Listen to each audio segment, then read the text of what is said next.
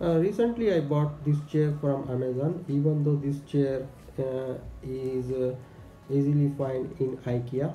But since uh, all the businesses are closed so I am looking for a chair comfortable chair. So I find it on Amazon and delivery is done in couple of days. After getting this chair I just assemble this chair with much ease and quality of this chair is quite good. Uh, and it's it can be used by elders or children's it is very lightweight uh, lightweight but the material is uh, very very very good.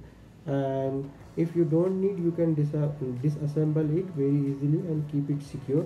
And as and when required you can reassemble and then start using it. Uh, it's a value for money. And if you if you want to buy this uh, a link is given below. Please click it